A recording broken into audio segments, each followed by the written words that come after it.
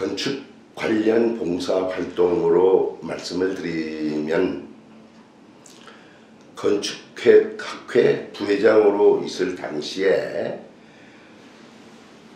건축학회와 건축가협회 그리고 건축사협회인 건축 3단체가 건축인화를 제정하기에 앞서서 우리가 건축인화 제정 추진위원들을 구성을 했습니다. 그래서 우리가 그 2년간에 걸친 국토교통부와의 협의 과정에서 많은 난제와 어려움의 과정도 많았습니다만은 그 과정을 무난하게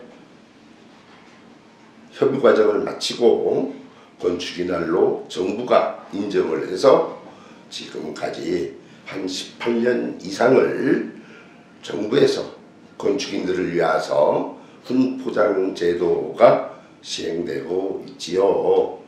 앞으로도 우리 건축가는 물론이고 건축인들의 자긍심을 높일 수 있는 큰 전환점이 되었지 않았나 이렇게 사료됩니다. 많은 건축인들과 건축가들이 이 사회에 봉사하고 공헌할 수 있는 그런 자기 자리매김으로서의 한 큰 획을 형성했다 이렇게 사료됩니다. 3단체의 건축이나 추진위원들을 추천받은 그 대표적인 위원 중에 한 분이 현재 건축가협회의 명예회장님으로 계신 최동규 명예회장님께서를 비롯해서 많은 위원님들이 조언과 많은 아이디어를 제공해 줌으로 말미암아 건축인화를 잘 제정할 수 있게끔 도와주신 덕택이라고 생각해서 이 자리를 빌어 최동규 명예 회장님을 비롯해서 당시에 건축학회, 건축가협회, 건축사협회의 추진위원 여러분들에게 심심한 감사의 말씀을 전하는 바입니다.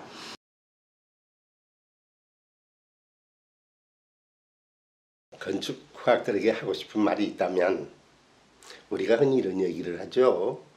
이상은 높게 가지되 생활은 검소하게 하라.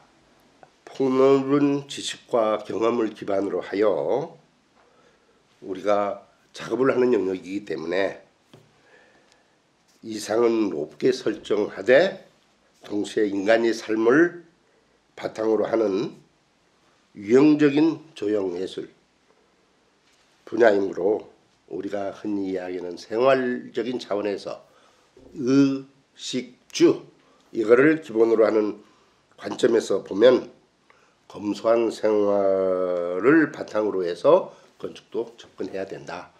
전공 서적만으로 공부할 게 아니라 때로는 인문 사회, 철학 등 다양한 책들을 동시에 공부하면서 시야를 넓힌 차원에서 여행을 통한 경험과 견문을 넓히는 것도 필요합니다. 안도 다다오 선생은 원래는 복싱 선수였었습니다. 복싱 선수에서 어, 여행도 좋아하셨죠. 그래서 어, 블란스로 가서 르골브제의 작품을 섭렵하면서 건축가의 길을 걷게 됩니다. 르골브제의 제자인 유사카 선생님은 이분 역시 여행 가이면서도 특히나 등산가입니다. 그렇게 등산을 통해서 또는 여행을 통해서 그 유사근 선생의 제자이시고 저희 지도교수인 도르마 선생님의 경우는 원래 스키 선수였습니다. 스키를 통해서 우리가 도시 건축가의 과정을 걸어오신 분들이기 때문에 지금 건축을 하려고 소망하는 많은 젊은이들 그리고 대학생들은 대학 생활 중에 많은 취미 활동은 물론 체력은 곧 정신력이라고 했듯이 어떤 체력 분야의 체육 분야에 혹은 그런 한 분야에서 열중하는 것도 하나의 건축의 돌파구를 형성하는 어떤 저력으로서 작용하리라고 봅니다. 그래서 문화의 차원에서 건축은 승화시키면서 다양성을 같이 병존하는 그런 폭넓은 경험을 쌓아야 된다라고 후학 여러분들에게 조언하고 싶습니다.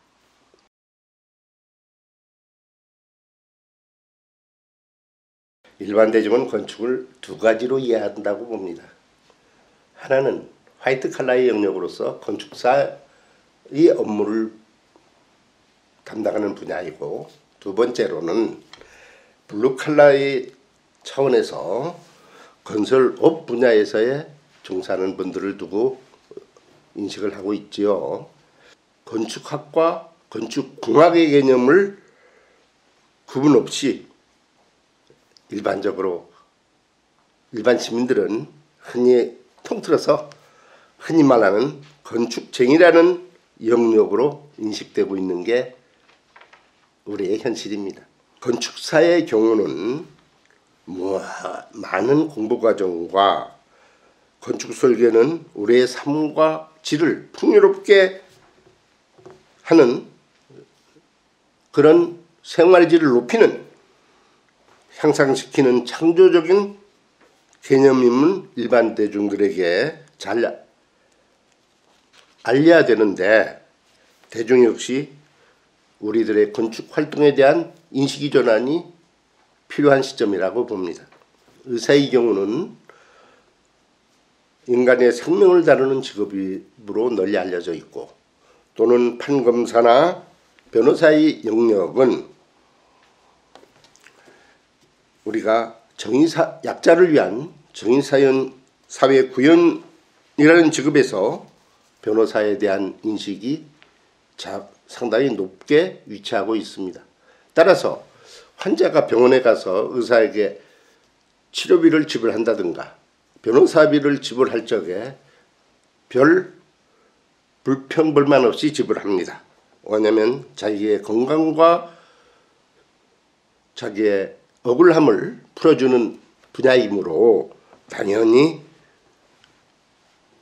비용에 대한 개념은 솔선해서 지불하는 것이 일반적입니다. 다만 건축사의 경우에는 설계비에 서서 책상에 앉아서 하시는 일에 건축 설계비가 너무 과다하지 않느냐라는 인식이 일반적이죠. 일반 대중에게 건축가의 작업 과정이 많은 예술 분야처럼 건축은 문화의 차원에서 각고의 고민과 창작의 결과에 비례해서 건축 작품이 창출됨을 대중에게 많이 알려서 대중이 이해할 수 있도록 우리 건축인들 자체가 그러한 노력을 많이 알리는 작업 또한 병행해, 병행해야 되리라 하는 시점이라고 생각이 됩니다. 따라서 건축에 대한 인성이 좀 더 승화된 개념으로서 의사나 법률가에 못지않는 그런 영역까지 진출할 수 있는 그런 인식이 일반 대중에게 널리 알려줄 수 있는 것이 우리가 건축 학회나 가협회나 사협회를 통해서 그런 자정의 노력이 필요할 때가 아닌가 이렇게 생각이 됩니다.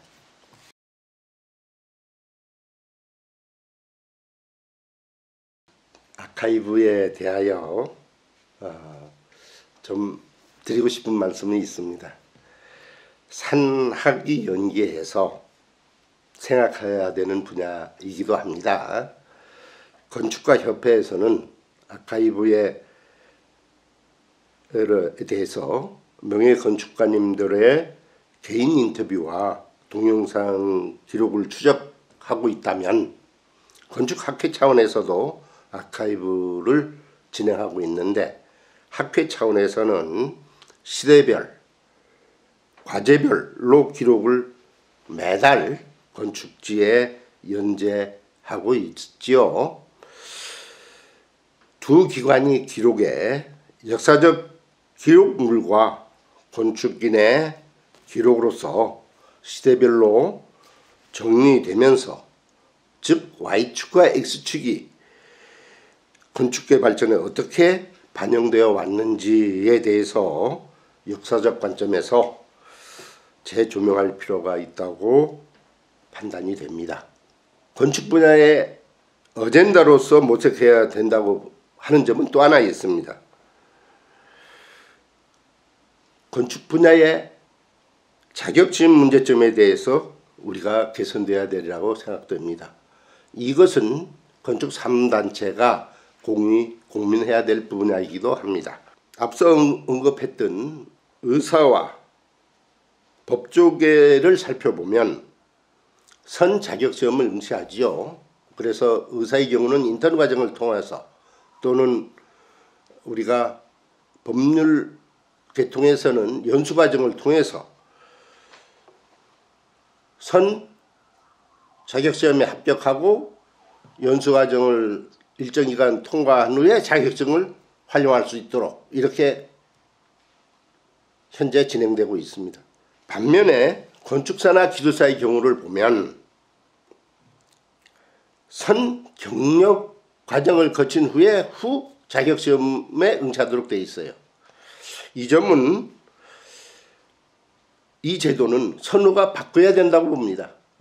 똑같이 대등한 관계에서 대학을 졸업했으면 자격시험에 응시를 해서 자격시험에 합격을 한 후에 연수과정을 거친 후 자격증에 대해서 효율을 발생하도록 그렇게 한다면 자격증으로 소장 건축사 설계사무소 소장이라는 개념이 아니라 건축 설계를 하는 사람에게는 소장도 자격증을 건축사를 자격증을 갖고 있어야 되지만 그 스텝들도 꼭 건축사 자격증을 가져야만 소장이 되는 게 아니라 서로 협력하는 관계에서 자긍심을 갖고 건축사로서 또는 건축가로서의 활동 범위를 넓혀가야 되리라고 봅니다.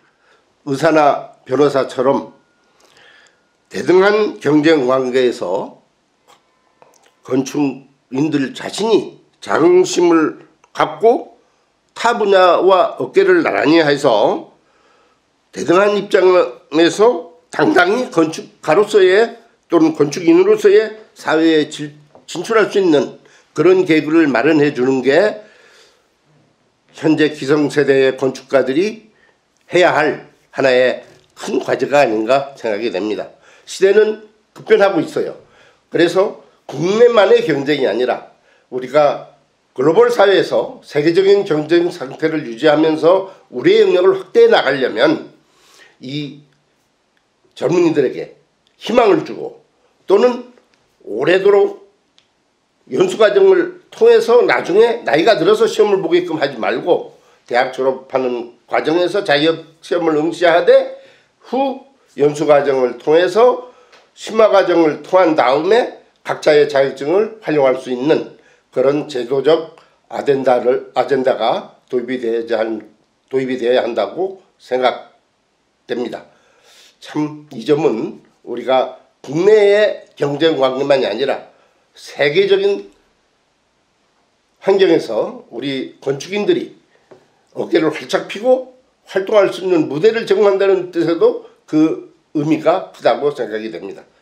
그리고 우리 건축 3단체는 이 점에 대해서도 한번 아젠다로서의 논의가 필요할 시점이 아닌가 이렇게 사료됩니다. 감사합니다. 마지막으로 인사 말씀을 드리고자 합니다. 건축학회를 비롯해서 가협회, 건축사협회 이 3단체의 건축가 여러분들과 건축인 여러분들 모두 들에게 인사드리고자 합니다. 2024년은 청룡의 해입니다. 새해 복 많이 받으십시오. 그리고 소망하시는 일들이 모두 성취되시기를 간곡히 기도드립니다. 새해는 우리 건축인들이 건축가와 건축인들이 큰 희망과 포부를 가지고 새로운 기운으로 새 출발할 수 있는 새해가 되었으면 합니다. 그래서 우리 사회가 건축가와 건축인들이 역할에 대해서 봉사하고 헌신하는 과정에서 보람을 느낄 수 있는 한 해가 되시기를 간곡하게 기원 드리는 날입니다. 새 아침에 삼가 김영하 감사 인사 올립니다. 감사합니다.